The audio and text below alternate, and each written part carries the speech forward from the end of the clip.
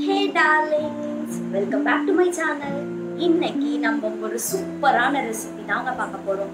இப்போ எல்லா பசங்களுக்கும் ஸ்கூல் லீவ் விட்டாச்சு. எல்லாரும் என்ன பண்ணுவாங்க?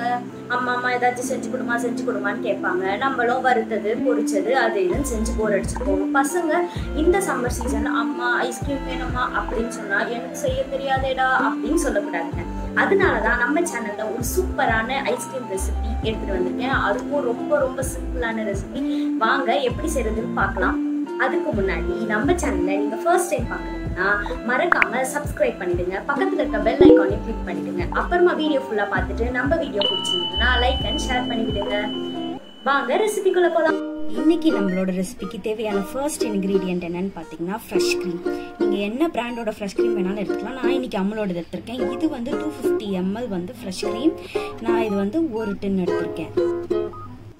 அண்ட் இப்போ நம்மளோட செகண்ட் இன்க்ரீடியன்ட் கண்டென்ஸ்டு மில்க் வேணும். நான் இன்னைக்கு அமுலோட மித்தாய் மீன் எடுத்திருக்கேன். இதுவும் நீங்கள் எந்த பிராண்ட் வேணால் எடுத்துக்கலாம். இது வந்து ஒரு ஃபோர் ஹண்ட்ரட் கிராம்ஸ் டின் நான் இதில் வந்து ஒரு கால் பங்கு அதாவது நூறு கிராம் எடுத்துக்க போகிறேன் நம்ம இன்னைக்கு டேஸ்டான சாக்லேட் ஐஸ்கிரீம் செய்ய போகிறோம் அதனால நான் இன்னைக்கு கொக்கோ பவுடர் எடுத்திருக்கேன்.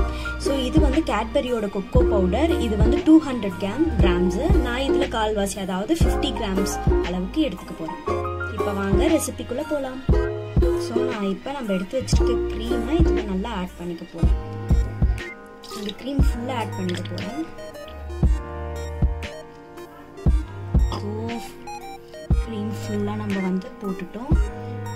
நெக்ஸ்ட்டு நம்ம மித்தாய் மேல் இது நான் ஒரு கால் டீன் ஊற்ற போகிறேன்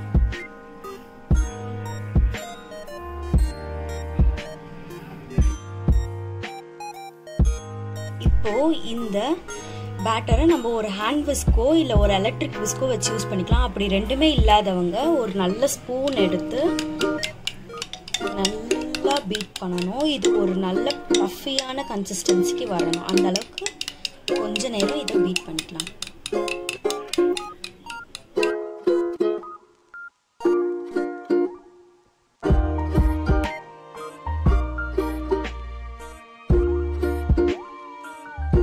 ஒரு டூ மினிட்ஸ் நம்ம இதை நல்லா பீட் பண்ணிட்டோம். இப்போ நம்மளுக்கு உப்பு பவுடர் நீங்கள் வந்து சாக்லேட் வேண்டாம் இல்லை இப்போ இது இல்லை அந்த மாதிரி டைமில் வந்து நீங்கள் வெண்ணிலா எசன்ஸோ இல்லை என்ன ஃப்ளேவர் வேணுமோ அந்த எசன்ஸ் வந்து யூஸ் பண்ணிக்கலாம். நான் இப்போ ஒரு ஃபிஃப்டி கிராம் கொக்கோ பவுடர் சேர்த்துருக்கேன். இப்போ இதை ஒரு ஃபிஃப்டீன் மினிட்ஸ் அளவுக்கு நல்லா ஹேண்ட் பீட் பண்ணிக்கோங்க.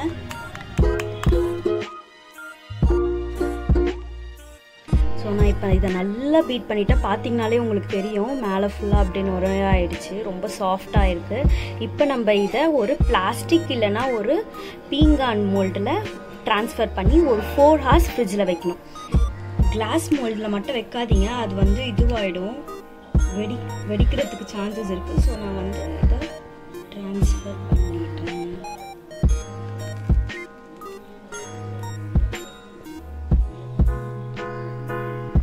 நான் இப்போ இதை க்ளோஸ் பண்ணி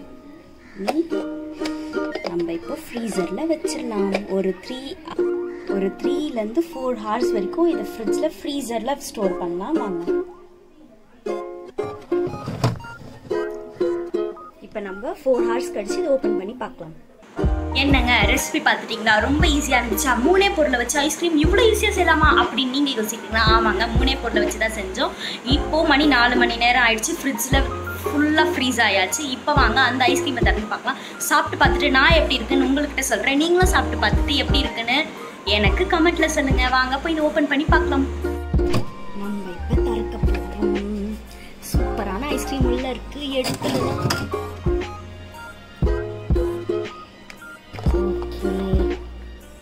ஓப்பன் பண்ணியாச்சு.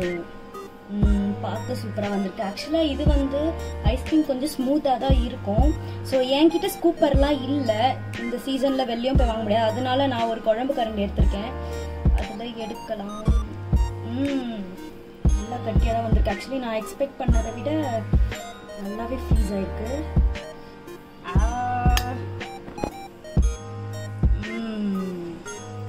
வந்திருக்கு. இப்போ நம்ம இதை சாப்பிட்டு பார்த்துட்டு எப்படி இருக்கு நான் உங்களுக்கு சொல்கிறேன் வாங்க.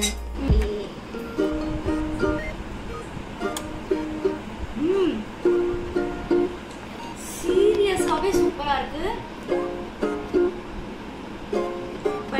சீக்கிரமாக மெல்ட் ஆகிடுது நான் வந்து இன்னும் கொஞ்ச நேரம் ஃப்ரீசரில் வச்சுருக்கணும்னு நினைக்கிறேன். அப்படியே டிவைன்னு சொல்லுவாங்கல்ல. அதே மாதிரி இருக்குங்க. ஆக்சுவலா ஓகே ஃபஸ்ட்டு நான் உங்ககிட்ட ಅದನ್ನೆಲ್ಲ ಮಿಕ್ಸಿಲಿ ಆರಿ ಪಂಗ ಎಟ್ಟು ಫ್ರೀಜಲ್ಲಿ ಪಂಗ ದುಬ್ಬ ಆರಿ ಪಂಗ ಫ್ರೀಜಲ್ಲಿ ಪಂಗ ಅದು